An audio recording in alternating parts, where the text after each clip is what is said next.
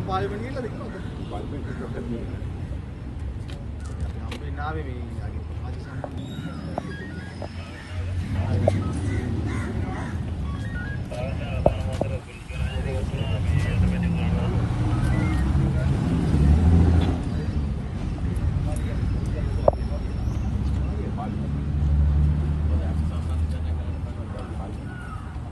නඩත්තුයි ඔය වාහන ඔය නිල වාහන මේකේ තියෙන ඔක්කොම දේවල් තාමත් පඩි ගන්න මේ රටේ පුරවැසියන්.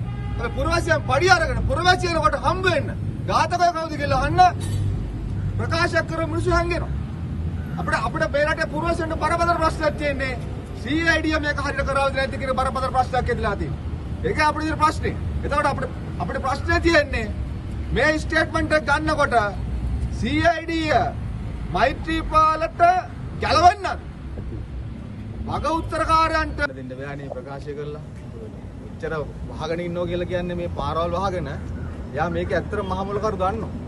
මහ මොලකරු දන්න හින්දා තමයි යා එදා කිව්වේ. හැබැයි යා මේ කියපුගේ ප්‍රකාශයේ බරපතලකම දැන් තේරෙනවා ඇති. හැබැයි යාට කියනවා අපි හම්බ වෙන්න එනවා.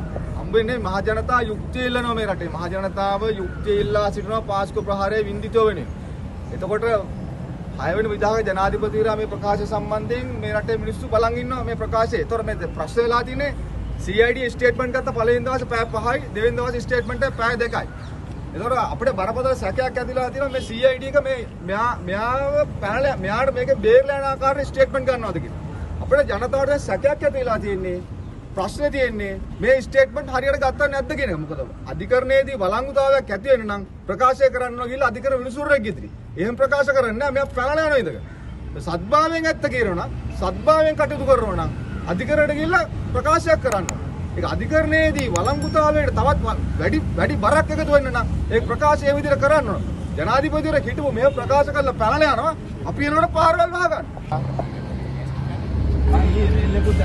නෑ ඒක අනේ පාර්ලිමේන්තුවේ පණිවිඩයක් කිව්වා. කියන්නේ කියලා. මේ කියන්නේ ගෞරවනීය විදිහට උඹලට වෙන දවසක් දෙන්නම් කියලා කාගේ ටෙලිෆෝන් නම්බර් එක දෙන්න එන්න කියලා. මගේ- පා- පාර්ලිමේන්තුවේ. ඇත්ත කියන්න එපා. හරි? නෑ නෑ අපි ආවේ ගැටුමක් නෑ නෑ නෑ නෑ නෑ ඕන දෙයක් කරන්න. මෛත්‍රීපාල සිරිසේන කියන්නේ ඕන දෙයකට අහුම්කම් දෙන යහපත් පුද්ගලයෙක්. මම ශ්‍රී ලංකා කාර්යකාරීද කියනවා නෙමෙයි. ඒකින්ද ඕන දෙයක් කතා කරන්න දැන්. එන්න මටත් අපිටත් බැරි යහට වෙලා ඉන්න. කිව්ව පයින්ට දෙන්න කියලා දන්නවද? හරි. ඒක ප්‍රශ්න නෑ. ආ නෑ කියන්නේ අපිට. මිනිස්සු ඉල්ලනවා මේ පසු විසඳුම. හරිද? ඒක රාජපක්ෂල ගැහුවද, බුද්ධියංශ ගැහුවද, කවුරු ගැහුවද කියලා මිනිස්සු දැන් ප්‍රශ්නයක් තියෙනවා මේ රටේ. එක එකාට චෝදනා වෙනවානේ. ඒකද මෙයා සත්භාවයෙන් කරපු ප්‍රකාශය. සත්භාවයෙන් CID කට උත්තර ගත්තද කියන අපේ ප්‍රශ්නයක් තියෙනවා. මොකද CID ගන්න කට උත්තරය අනුව තමයි ඊළඟ එවිඩන්ස් එළිදරව් වෙන්නේ. ඒතකොට මේ ඇත්තටම දැන් මේ මිනිස්සයාට ඇත්තටම ඇත්ත කියා ගන්න උවමනා වෙන්න පුළුවන් ගැහුවේ අහවලා. මේක උනේ මෙහෙමයි. හැබැයි නමුත් මේවා පිටිපස්සේ යම් බලවේග ඉඳගෙන මේක යට ගහන ආකාරයට විමර්ශනය කරන්නේ නැති වුණොත් මේ මිනිස්සයා කරන ප්‍රකාශයට වළංගුතාවයක් නැහැ. අපි ඒකයි කියන්නේ. මනුස්සය කියන්නේ රටේ හැමෝටම එක වගේ සලකන මනුස්සයෙක්. මේ මේ ආරම්භ මේ මන්ට ජනාධිපතිතුමාට මේකට පොලිසියට පොලිස් කාර්යයට කට උත්තර දෙන්න බෑ. DID එකත් අපිට විශ්වාස නැහැ. ඒ නිසා තමයි එතුමා කිව්වේ මේ රටේ උත්තරීතර විනිශ්චයකාරයෙක් ඉදිරියේ අනිවාර්යෙන් අනිවාර්යෙන් බලාපොරොත්තු වෙන්නේ දැන් අපි අනිවාර්යෙන් අපි ඒ දේ බලාපොරොත්තු අද කාලේ කසිප්පු වල්ලනේක තීන්දුවක් පොලිසියට කියන්නත් බෑනේ ගිහිල්ලා එයාට කියනවා තේරුණාද? මේක තේරුම් අරගන්න. ඒකිට උගලන්ට අහුම්කම් දෙනවා. රටේ මිනිස්සුන්ට අහුම්කම් දෙනවා. මොකද අපි ගමනක් යන්නේ නැත්නම් රයිට් හරි හරි හරි ගැන්නුවක් Right, එච්චරයි. ඒ කියන්නේ ඔබතුමා කිව්වා වගේම DID අවිශ්වාස නම් දරුව අධිකරණ ගිහිල්ලා කියන්න කියලා. ඒකට ජනතාව ජනතාවට විශ්වාසයක් ඇති වෙනවා. මොකද නැත්තම් මහජන කැළඹීමක් දෙන්න පුළුවන්. මේ ප්‍රකාශත් එක්ක තේරෙන්නේ නැහැ. හරි බයි ඌව පණිවිඩය කියන්නේ හරි හරි? හරි හරි හරි. හරි right. හරි ඕයිසි ඕයිසි Right, ඕයිසි ඕයිසි.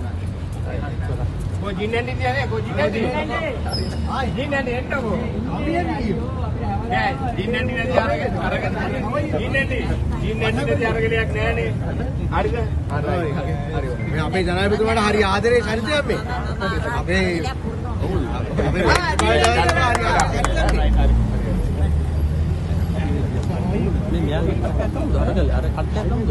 ඒ ව- ඒ වගේම අද මේ අරගලේ හරියට වසර දෙකයි ඒ බලාපොරොත්තු ඉටුණාද අරගලයක් කරලා රටේ ජනතාව මේ තරුණයෝ ඔව් සත්භාවයෙන් මේ රටේ සිස්ටම් චේන්ජ් එකක් බලාපොරොත්තු වෙච්ච මිනිස්සු දාල මූදලට එකතු වුණා.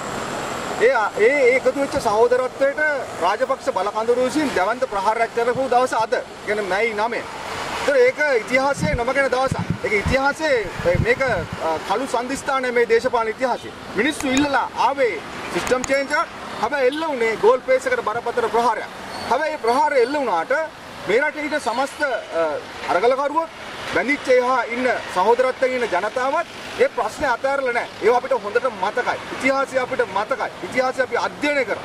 ඒ වගේ අපි කියනවා අපි යම් කිසි විදිහකට මේ රටේ දේශපාලන ක්‍රමය වෙනස් කරන්න ඕන කියලා ජනතාව එදා පෙළ ගැහිච්ච විදිහටම හෙට දවසේදීත් අපි පෙළ ගැහෙනවාමයි. අනිවාර්යයෙන්ම මේ දේශපාලන ක්‍රමය තුරන් කරන්න මෙතනින් අතුගා දමන්න මේ සිස්ටම් එක වෙනස් කරන්න තරුණ විදියට මේ රටේ ජනතාව අපි පෙළගස්සනවාමයි. ඒකින්ද අපි කියනවා ගෝල් පේස් එකට ගැහුවට මැයි 9 ඉඳලා ගැහුවට ඒ අරගලේ අපි ඉවර කළා නෑ. ඒක අකණ්ඩයි. මේ ජීවිතයේම උදෙසා කරන අරගලය මිනිස්සුන්ගේ මේ ක්‍රමය වෙනස් කරගන්න අරගලය දේ- දේශපාලන සංස්කෘතිය වෙනස් කරගන්න කරන අරගලය පාර්ලිමේන්තු තුලදීට එහා ගිය සමාජ අරගලයක් අපි කරේ ඒ අරගලයට බහර්දී මිනිස්සුන්ට කියනවා අපේ තරහක් නැහැ උඹලත් එක්ක අපේ වෛරයක් නැහැ හැබැයි බල කවදාකත් අරගලයට වෛර කරා කියලා අරගල කරුවන් අත්අඩංගුවට ගත්තා කියලා උන්ට ගැහුවා කියලා උන්ගේ අඬු ගැඩුවා කියලා අපි නවත්තන්න බෑ කියන එක ඔය ඉන්න මිනිස්සුන්ට කියනවා. යගෙම කියනවා රනිල් රාජපක්ෂලාට මහින්ද රාජපක්ෂලට නාමල් රාජපක්ෂලට මේ ඔක්කොටම එකී නොකී මොකී රනිල් වික්‍රමසිංහලට ඉරාන් නලස්ලට අපි ඔක්කොටම කියනවා පැහැදිලිවම මේ රටේ පුරවැසි ඉල්ලලා තියෙන ප්‍රජාතන්ත්‍රවාදය ප්‍රජාතන්ත්‍රවාදයට ආණ්ඩුව උත්තර දෙන ලෑස්ති වෙන්නේ බැටන් පොල්ලෙන් නම් වෙඩි උණ්ඩෙන් නම් ඒකටත් එරෙහිව අපි ප්‍රජාතන්ත්‍රවාදීව සටන් කරන්න සූදානම් සහ ජනතාව පෙළගස්සනවා කියන එක මැයි 9 වෙනිදා ඓතිහාසික දිනය වෙනුවෙන් අපි වැඩි වගකීමෙන් යුතුව ප්‍රකාශ කරනවා කියන එක මතක් කරගන්න. එතකොට අදට අවුරුදු කීයද? අදට හරියටම දෙකක් එනවා. අදට අවුරුදු දෙකක් එනවා මේ සිදුවීම සිදු වෙලා. හැබැයි අපි මතකයි ගෝල් පේස් එකට ගහන්න ආපු පිරිස අපි දැක්කා බේරවේ නානවා, බේරවේ ගිලිලා ඉන්නවා. යම් කිසි ප්‍රශ්න ඇති වුණා, ගැටීම් ඇති වුණා. අපේ හිතේ වෛර නැහැ. ඒක වෛරෙන් වෛරෙන් නොසන්සිදේ. හැබැයි දේශපාලඥයෝ මැයි නමේ වෙච්ච සිදුවීම් අරගෙන මේ තරුණ අරගල කරුවන් එක්ක වෛරයක් පිරිමහන මානසිකත්වයක් තාම තියෙනවා. ඒතර මේ ආණ්ඩුවේ ඉන්න රාජපක්ෂ කඳුරු ඉන්න දේශපාලඥයෝ කරන ප්‍රකාශ වලින් අපිට ඒවා පැහැදිලි වුණා. අපි දන්නවා සනන් නිශාන්ත හිටපු අභාප්‍රාප්ත මන්ත්‍රීවරයා ඒ අරගල කරුවන්ට කොහොමද බැන්නේ කියන චෝදනා කරේ කොහොමද කියන. ඒකින්ද කියනවා අරගලයට නියතයි ජය. හැබැයි ඊට එරෙහිව ද්වේෂ කරන දේශපාලඥයට පරාජය නියතයි පරාජය. එතන අපිට කියන්නේ. ඇයි අරගලේ අරමුණු ඉෂ්ට කරගන්න බැරි වුණේ තරුණයන්ට? අරගලය අරගලය ඉෂ්ට කරගන්න බැරි වුණේ ඒක දේශපාලන ප්‍රශ්නයක්. දේශපාලන ප්‍රශ්න අරගලය තුල තිබුණා. නැතුවම නෙමෙයි. දේශපාලන කමැදිලි තිබුණා. විවිධ කණ්ඩායම් හිටියා. හැබැයි ඔවුන්ගේ අරමුණ උනේ එකම එකම විදියට හිතුව පැතුව විදියට මේ ක්‍රමය වෙනස් කරන්න. හැබැයි ඒක අවසානයේදී රනිල් වික්‍රමසිංහ විසින් මේ අරගලය කොල්ල කෑවා. අරගලය කොල්ල කාලා ජනතාවට අවශ්‍ය දේ නෙමෙයි දැන් රනිල් වික්‍රමසිංහ මේ සමාජගත කරමින් තියෙන. ඔහු පැහැදිලිවම කියනවා මේ ක්‍රමය තව අවුරුදු දෙක තුනක් අරන් යන්න වෙනවා. ඒ කියන්නේ මම එක්සිකියුටිව් ප්‍රෙසිඩන්ට් පාර්ලිමේන්තුවට මට ඕන විදිහට අරන් යනවා. හැබැයි ඡන්දයක් නොතිය ජනාධිපතිවර නොතිය අදාළ කාලවලදී මැතිවරණ පවත්වන්නේ නැත්නම් ජනතාව ප්‍රජාතන්ත්‍රවාදීව ඒකට එරෙහිව නැගී සිටිනවා. මොකද ජනතාව බලාපොරොත්තු වෙන්නේ අරගලය හරහා මේ රනිල් වික්‍රමසිංහ කියන පාලනය නෙමෙයි. රනිල් වික්‍රමසිංහ කියන සිස්ටම් චේන්ජ් එක නෙමෙයි. අපිට පෙට්‍රල් ටික දුන්නයි, ඩීසල් ටික දුන්නයි, බූතල් ටික දුන්නයි. අපිට ඒ ඉන්ධන ගෑස් ටික ආවයි කියලා ප්‍රශ්න විසඳලා නැහැ. රටේ දරුවෝ බඩගින්න ඉන්නේ 75 ලක්ෂ ජ- ජනතාව බඩගින්න ඉන්නවා. පාසල් ශිෂ්‍යයෝ බඩගින්න ඉන්නවා. ඒ වගේම ලක්ෂ 12ක විදුලි බිල් කපලා තිනවා. ඒතර ජනතාව පීඩනයට පත් වෙලා ඉන්නවා. ඒකින්ද පීඩනය පුපුරායන දවස පීඩනය පුපුරායන දවසක ක්‍රමය වෙනස් වෙලා නව ක්‍රමයක් ඇති වෙනවා කියන එක ඒක ලෝක ඉතිහාසයේ ඔප්පු කරලා තිනවා. ඒක අඛණ්ඩ වන සිදුවන ක්‍රියාවලියක්. ඒකින්ද අපි කියනවා මේ රටේ තරුණයන්ටත් අරගලයට එදා ඇවිල්ලා මැයි 9 වෙනිදා ඉඳලා මාස 3ක් තිස්සේ ගෝඨාභය රාජපක්ෂ පළවා හරින තුරුම සහ මේ ක්‍රමය වෙනස් කරන්න ඉල්ලන ඉල්ලන අරගලයට ආපු මිනිස්සුම අපි අද සහ ඒ අරගලයට ඇවිල්ලා මිය ගිය සියලු දෙනා පුතන් මතකයි යම් කිසි කෙනෙක් මිය මිය ගියා ඒ අයවත් අපි ඉතාම කුසහස්තව සිහිපත් කරමින් අපි නිහඬ වෙනවා. ගොම් ස්තුතියි